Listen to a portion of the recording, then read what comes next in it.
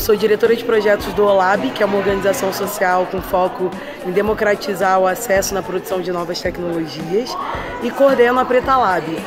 A Preta Lab hoje ela é um mapeamento de mulheres negras indígenas nesse campo das tecnologias, ampliando um pouco essa noção de tecnologia, né, que não é só o que está ligado ao digital, mas enfim, a produção de conteúdo também, não só o desenvolvimento e a área de engenharia. Meu nome é Brenda Costa, tenho 20 anos, sou de Salvador.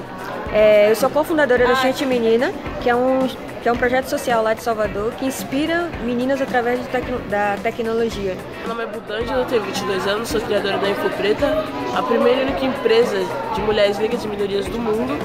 A gente é uma empresa de tecnologia, faz concertos, site, aplicativo, faz também inclusão e tem realmente a diversidade, né?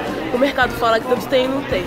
Lá trabalham no binário, travesti, nortistas, mulheres negras, gays, lésbicas, tudo, tudo misturado.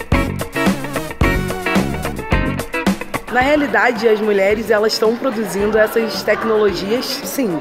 Só que infelizmente a gente não tem uma escala como os homens têm. Né? O que eu acho que quando um, só um determinado grupo tem acesso a essas criações, a gente fica muito limitado enquanto país produtor de ciência também, né? Então, isso é muito a diversidade, ela não é uma é, ela não é um selo bonitinho que você coloca e diz, ah, nós somos diversos. A gente está falando de uma questão real de produção de conhecimento, de produção de meios de trabalho. A tecnologia dá um super poder para a gente. Então, se a gente pode é, dar às meninas um meio como resolver os problemas delas, a gente consegue ter soluções inovadoras para os problemas antigos.